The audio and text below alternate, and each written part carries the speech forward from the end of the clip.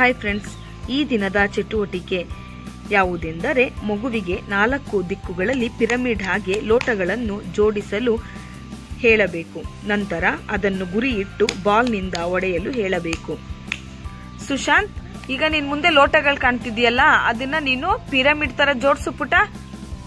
Ball ಪಕ್ಕದಲ್ಲಿಡು ಜೋಡ್ಸು.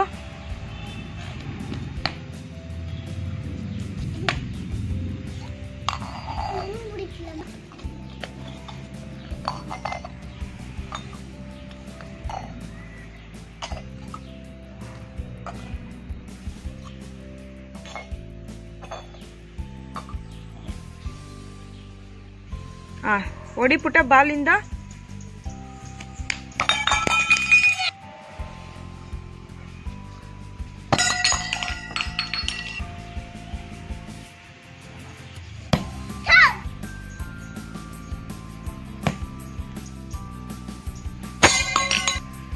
ಈ ರೀತಿ ಚಟುವಟಿಕೆ ಮಾಡುವುದರಿಂದ ಮಕ್ಕಳಿಗೆ ದೊಡ್ಡ ಸ್ನಾಯುಗಳ ಬೆಳವಣಿಗೆಯಾಗುತ್ತದೆ